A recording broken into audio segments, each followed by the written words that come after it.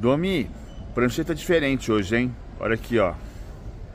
Tá bonitinha. Pra gente olhar como é que vai o Palmeiras. Pra gente olhar como é que vai o Palmeiras hoje contra o São Lourenço. Um time praticamente todo reserva, mas com Marcelo Lomba. E você vai dizer, ah, mas o, Palmeiras tem jogado com dois laterais. Não são dois laterais, cara. Quando joga o Marcos Rocha, o Marcos Rocha joga nessa função. Que hoje, que é terceiro zagueiro. E que hoje vai ser do Gustavo Gomes.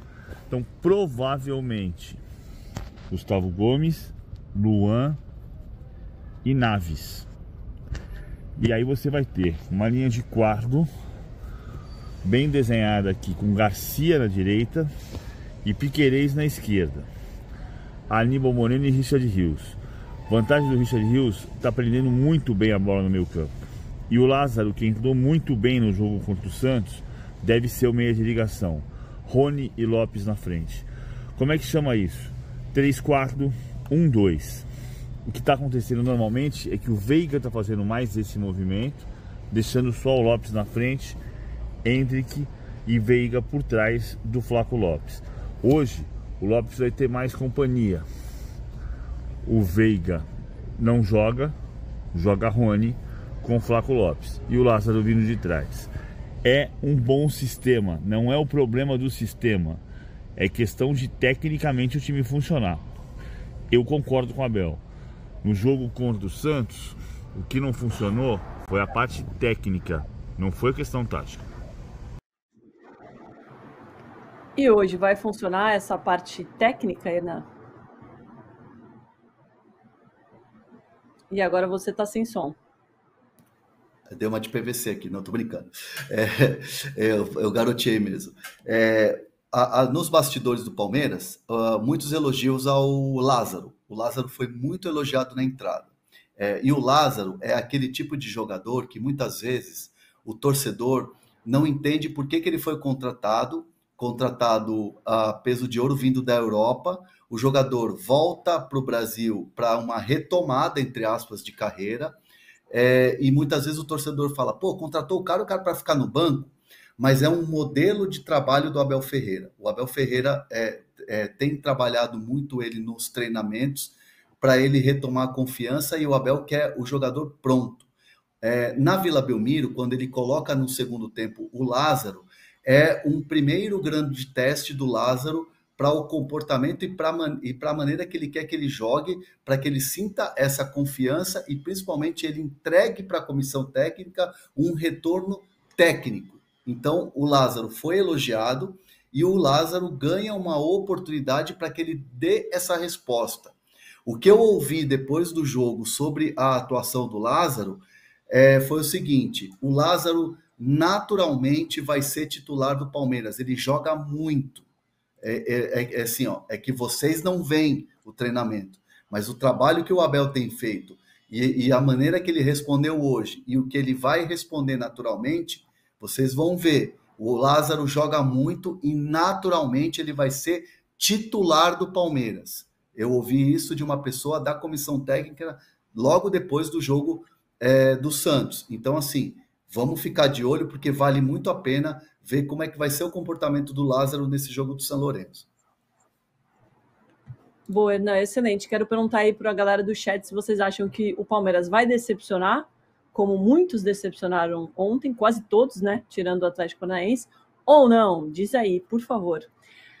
Vamos, podemos passar para outro assunto? Ah, não, tem uma matéria aqui do Luiz Rosa, ainda sobre o Palmeiras, com uma entrevista com o Mustafa, presidente, ex-presidente do Palmeiras. Chique, né? Porque ele ficou muito tempo sem falar. Ele já tem 83 anos. Ele que ajudou a Leila, né, a, a ascender assim politicamente no Palmeiras. E ele falou depois de sete anos sem dar entrevista.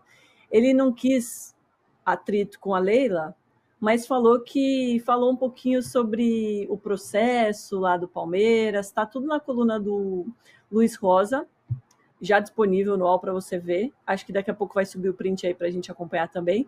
Foi um encontro num restaurante italiano, chique, e ele falou também sobre Mundial, André. Né? É. É, o, o Mustafa ele foi um, um, dirigente muito muito importante para o Palmeiras na, no, quando, quando o Palmeiras foi vitorioso nos anos 90. De fato, o Mustafa foi importante, mas depois foi ficando defasado. Acomodou-se é, é, no sucesso, vamos dizer assim. E ele depois foi atropelado atropelado no, no, no, sentido assim que a Leila chegou com outras ideias, a Leila chegou com, é, com o dinheiro, evidentemente, da Crefisa, com todo o investimento, é, com ideias é, arejadas.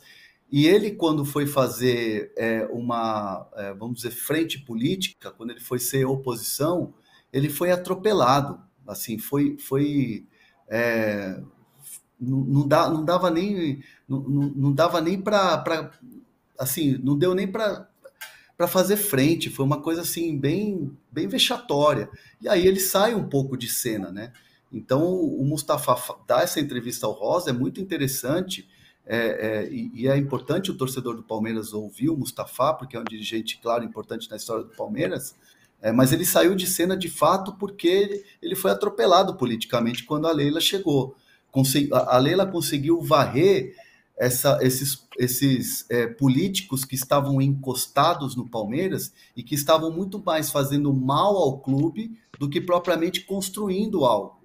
Depois da chegada de Paulo Nobre, a continuidade de Maurício Gagliotti, que é uma peça muito importante, que para mim é o maior presidente da história do Palmeiras, e depois a continuidade da Leila Pereira, é, é essa, essa parte é, acomodada e que fez mal ao Palmeiras essa, foi varrida.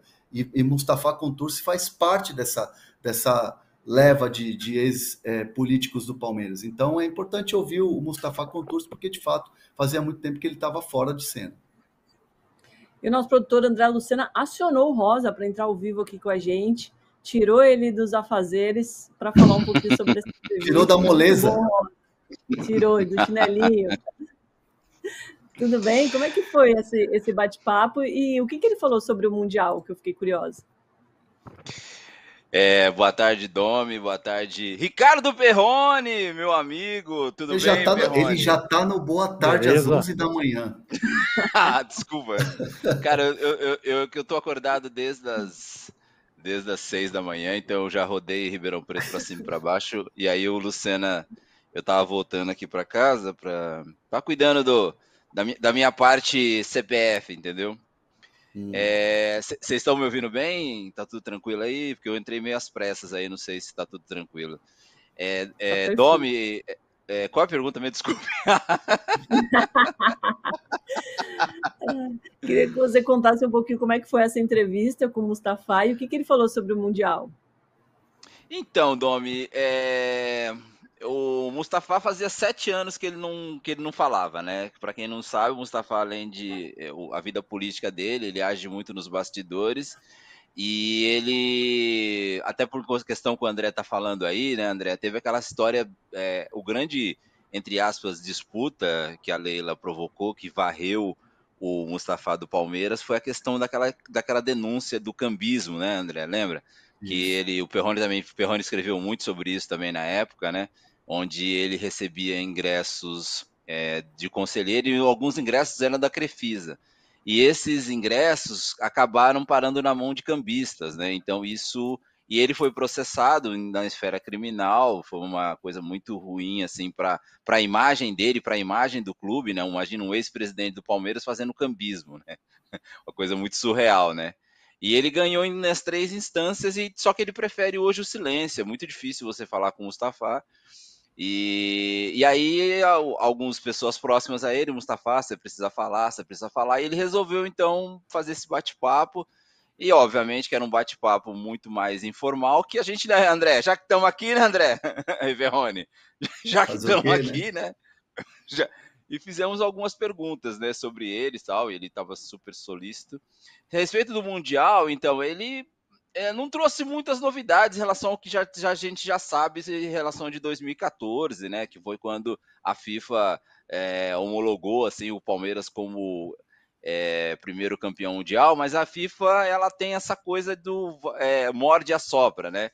Ele até contou que assim foi uma, uma, um encontro muito grande, mas eu vou tentar resumir para vocês. O Arnaldo Branco, para quem não conhece, é o jornalista que foi contratado pelo Palmeiras para fazer toda a pesquisa a respeito de se o Palmeiras, do que foi essa Copa Rio.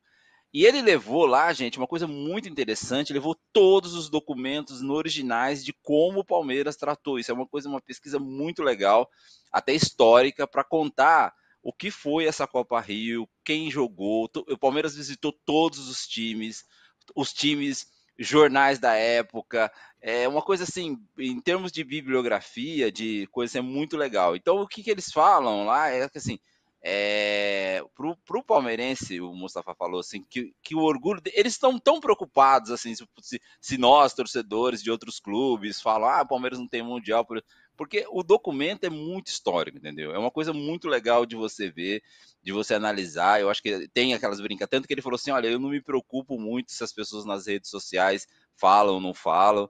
É, tem a questão do interesse econômico, né, André? Você que gosta muito do Sperrone, né? Que a gente fez muita matéria sobre a questão econômica, né? Se a gente for pegar o histórico do Mundial, por exemplo, de 60 até 80, desculpe, de 60 até 80, isso, foi disputado aquele Mundial de dois clubes europeus, um jogando na casa e outro no coisa. Aí de 80 até 2004, foi aquele Mundial da, foi no Japão. E aí, se a gente pegar o histórico, a gente vai ver que nesses mundiais a FIFA também demorou para reconhecer como campeão mundial. Para ela, o campeonato mundial seria a partir de 2005, né? Que, e de 2005 até o ano depois, quando veio esse outro mundial agora, é, 2005 até agora, e agora o ano que vem vai ter o super mundial que eles falam, né?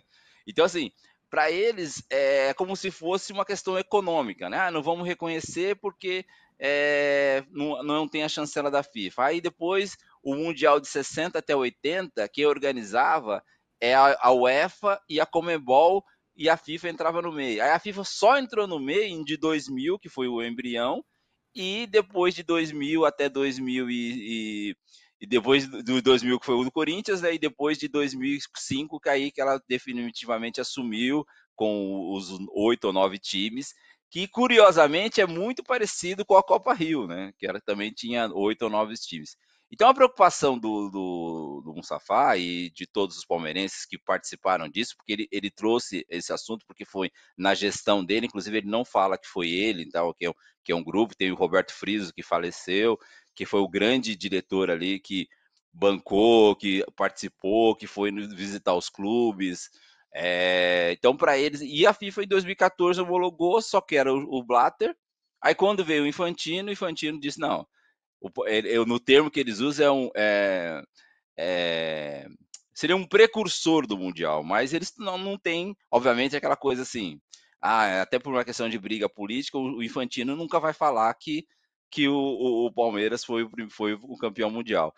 E o grande mote que eu usei na matéria é que ele fala o seguinte: é, para quem gosta de história, Domi, André, Perrone, se a gente for pegar o que aconteceu em 51, é, 100 mil pessoas no Maracanã, não tinham, obviamente, 100 mil palmeirenses. O Palmeiras chegou aqui, é, chegou aí em São Paulo ovacionado por torcedores, teve desfile. Tendo a questão histórica de 1950 e, 1950, e a relação, né? O brasileiro estava muito chateado pela perda da. Então tem todo esse resgate histórico. Então, o que eles falam, independentemente, eu acho, isso eu, eu acho legal, isso, né? Eu gosto muito de história. Independentemente de serem títulos, se não tem se é reconhecimento mundial, é o orgulho de ter sido um campeonato das maiores potências na época do futebol mundial. É, o, o, no Brasil, pós-Copa do Mundo de 50, um time brasileiro ganha, é ovacionado e, e, e tem uma coisa interessante, só para finalizar, depois vocês podem fazer outras questões, assim, por exemplo, quando o Sporting, isso tem cartas lá, quando o Sporting veio para o Brasil, o Benfica é, fez uma carta e foi, os representantes do Benfica foram até o, o aeroporto é, desejar boa sorte pro, pro Benfica. E aí a gente perguntou assim, ah, e hoje seria isso, o, o André, o, o Verrone e Domi? Algum time brasileiro, por exemplo, o Flamengo vai disputar o Mundial. Imagina o Fluminense, o Vasco, indo, indo lá no aeroporto com seus dirigentes, ó, boa sorte para vocês. E, e, tem um detalhe, tem uma notícia que o, que o São Paulo, na volta do Palmeiras, lá no, no, no jornal, acho que era Gazeta Esportiva, foram lá, tipo, parabenizar o Palmeiras pela conquista e tal. É, então eles falam assim, isso está acima, essa questão de história, a questão de valorizar o, o, o, clube, valorizar o futebol brasileiro, porque aí teve um resgate e tudo. Então ele, eles batem, o Mustafa bate nessa tecla e os palmeirenses, depois que eu fiquei conversando da velha guarda, depois dessa matéria, por isso que eu soltei a matéria só ontem, falam exatamente isso.